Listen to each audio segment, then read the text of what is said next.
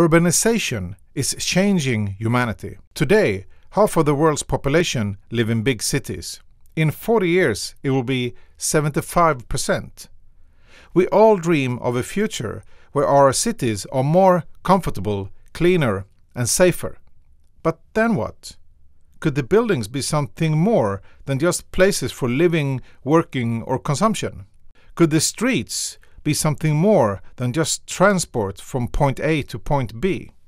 We work with ideas how the very infrastructure of a city can be transformed into inspiring and creative spaces for the future human.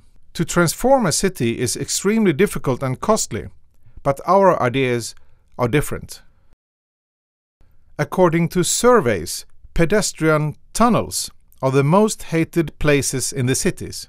The citizens think they are ugly, smelly, and threatening. Still, many of us have to pass through these places on a daily basis. So, how can they be transformed into fun and inspiring spaces? We have made a system that recognizes when someone sings a note.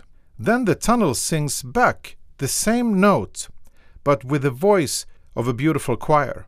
The tunnel becomes a playful, comforting, and musical companion. The singing tunnels are also self learning. They remember all tones that everyone have sung, and sometimes they burst out in a melody created by the most common notes.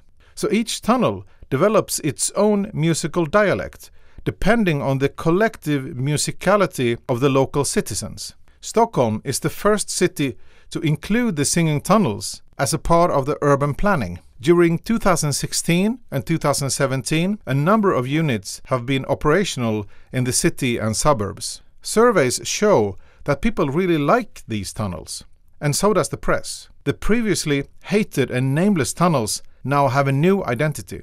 Now, we offer cities all over the world to take part of this unique idea. An easy and very cost effective way of transforming the most hated urban spaces into beloved, creative meeting points to start the transformation of our cities with intelligence and music.